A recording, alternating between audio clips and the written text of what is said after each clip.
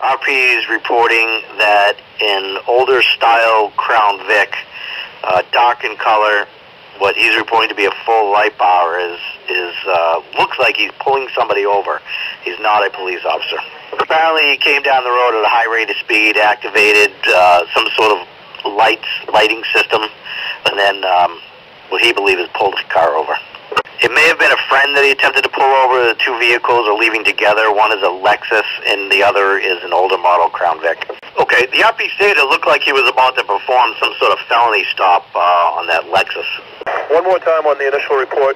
Did the complainant state that they used some sort of lights to uh, activated some sort of lights to get this vehicle to stop, or did they just simply say that the vehicle had lights on it? No, the uh, RP stated that he activated some sort of lights in the uh, grill.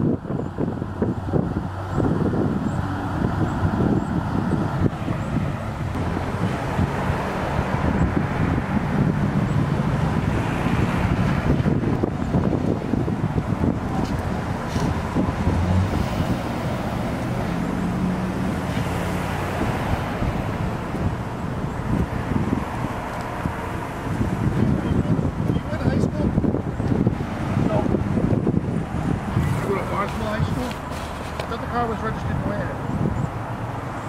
Was registered in Wareham at one point? Never at all? So did you stay back here? Uh, well, so you're, so you're doing a, a student academy? You don't have a gun. Because you're not licensed. Because you're too young to have a. That's not a license, that's an ID card. You don't have a gun. No guns whatsoever. Not even a toy gun for you. At all. And you don't carry it in the car with you.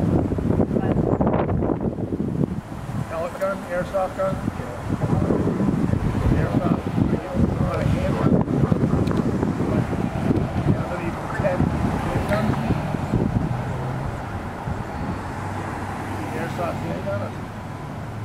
Like a CO2? CO2 one? You don't carry that in the car with you.